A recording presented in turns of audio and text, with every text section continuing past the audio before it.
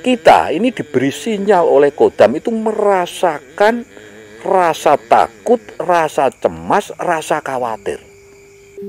Lintang lintang wengi Assalamualaikum warahmatullahi wabarakatuh. Salam sejahtera untuk kita semuanya. Rahayu, Rahayu, Rahayu. Pada kesempatan kali ini, saya akan membahas tentang tanda-tanda kodam kita ini sedang menangkal energi negatif. Seperti yang sudah pernah kita bahas sebelumnya mengenai kodam, bahwa setiap manusia itu pasti mempunyai kodam penjaga. Hanya saja masalah tingkatannya ini berbeda-beda. Ada yang energinya rendah, ada yang sedang dan juga ada yang tinggi. Nah, yang kali ini kita bahas ini tandanya kalau kodam kita ini sedang menangkal energi negatif. Karena setiap saat diri kita ini sebenarnya selalu berbenturan dengan energi-energi yang ada di sekitar kita. Ini kalau tidak selaras. Terutama adalah energi-energi yang ditimbulkan oleh makhluk alam gaib. Nah, tandanya seperti apa? kalau diri kita ini sedang menangkal energi negatif, terutama kodam kita.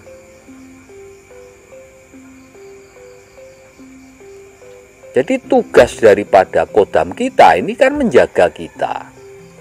Kalau kita ini diserang oleh energi negatif, entah itu kiriman ataupun dari alam gaib, ya. Ini ada reaksi ada reaksi daripada kodam penjaga kita. Nah, tandanya kalau kodam kita ini sedang menangkal energi negatif, yang pertama adalah kita ini diberi sinyal oleh kodam itu merasakan rasa takut, rasa cemas, rasa khawatir. Dan itu secara mendadak, terutama pada saat panjenengan ini berada di tempat yang energinya besar energi negatif yang besar. Nah, kalau energi kodam panjenengan kuat itu tidak masalah.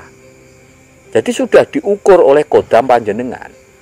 Kalau kodamnya rendah energinya, maka panjenengan diberi sinyal dengan perasaan takut, perasaan khawatir, perasaan cemas, sehingga apa panjenengan pergi dari tempat itu tadi. Nah, ini yang pertama tandanya semacam itu. Kemudian tanda yang nomor dua, kalau kodam kita ini sedang menangkal energi negatif, adalah diri kita. Ini diberi uh, suara-suara. Jadi kadang-kadang kita ini diperdengarkan suara-suara yang di situ terjadi benturan. Contohnya begini. Seumpama panjenengan ini berada di dalam rumah. Ya. Tidak ada angin, tidak ada tikus ataupun binatang yang lain. Itu tiba-tiba ini ada suara gelontang, nah, semacam itu.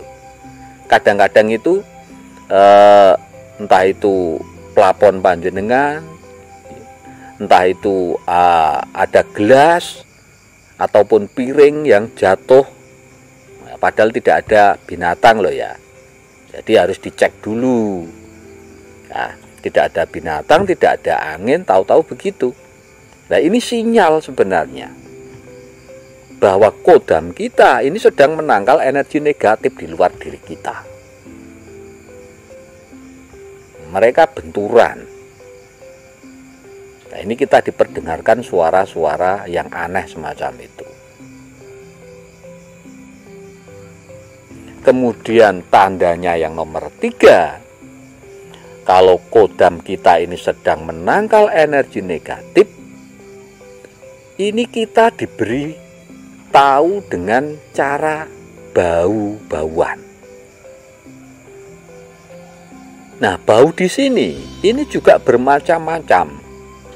Kadang ada yang wangi sekali menyengat, kadang ada yang bau-bau yang busuk ya seperti bau-bau anyir darah semacam itu. Nah, ini sebagai tanda kalau kodam kita ini juga sedang berantem sebenarnya. Kalau ada energi negatif yang mau menyerang diri kita, maka kodam penjaga kita itu tadi yang bereaksi. Dia yang menangkal energi negatif tersebut.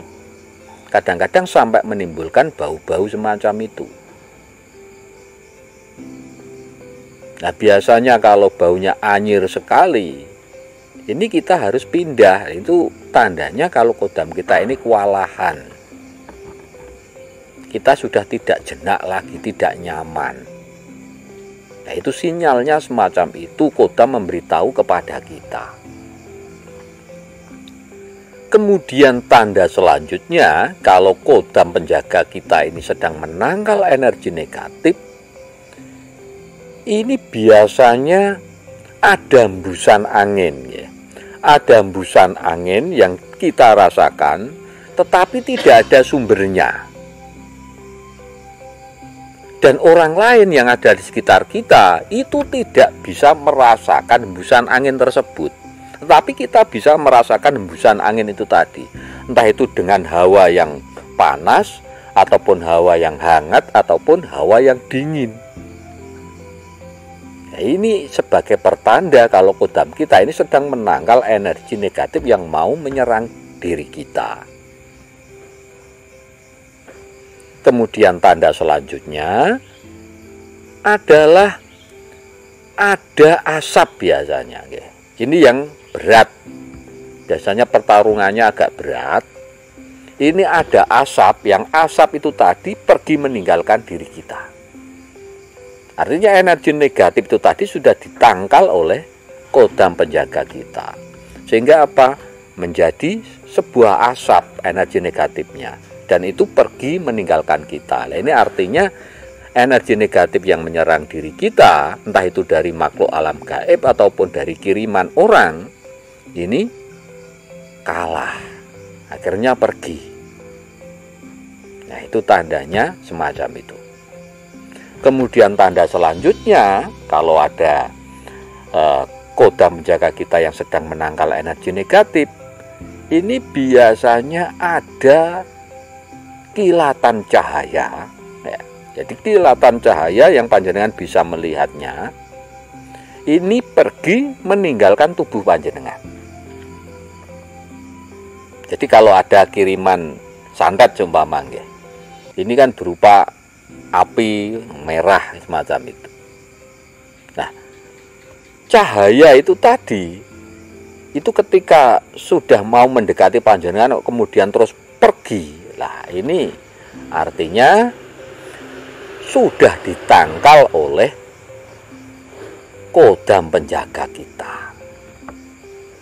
Itu salah satu tandanya semacam itu.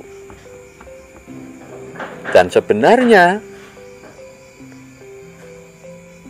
kodam penjaga kita itu tadi memang selalu bereaksi sebenarnya dan setiap saat itu selalu menjaga diri kita dari serangan-serangan energi negatif yang mau masuk ke dalam diri kita yang mau mencelakai diri kita jadi tanda-tandanya semacam itu tadi ada yang lewat panjangan diberi sinyal-sinyal melalui perasaan ya kemudian juga ada cahaya, ada kilatan, ada uh, asap, ya.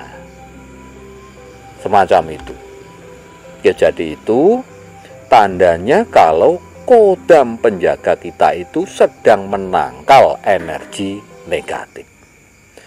Demikian bahasan kita kali ini mudah-mudahan bisa menambah wawasan, bisa menambah pengetahuan, dan mudah-mudahan bisa bermanfaat untuk kita semuanya. Matur sembah nuwun. Wassalamualaikum warahmatullahi